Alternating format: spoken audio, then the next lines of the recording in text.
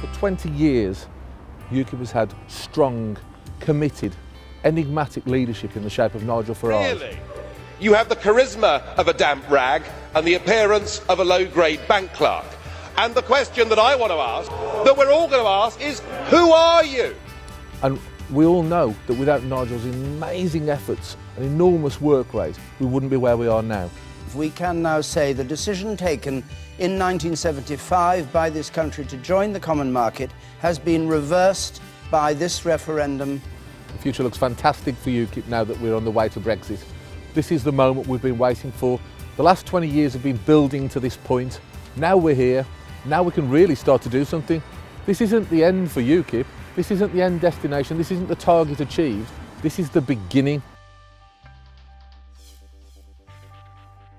However, now is the time for a renewal, a resurgence, fresh energy to lead a party.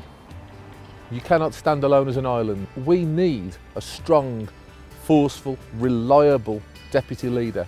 And I'm so grateful that Mike Hookem has decided to come on board and help me and join me in this. Well, I think we've got a very good, strong team. Bill Etheridge is uh, a strong, he will be a strong leader for the party and to drive the party forward. With Mike's strong support, honest counsel and good advice, this is a team that can really take the party forward.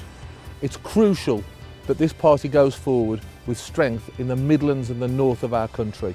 That's where the seats are, that's where the old Labour voters are who are desperate for an alternative. And I'm here because we've got a plan about how we're going to take seats at this place, get real representation for the people for the first time ever